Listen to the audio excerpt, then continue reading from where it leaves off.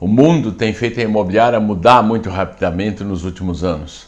Como então a sua imobiliária prestará o serviço nos próximos anos? Quais as mudanças que acontecerão?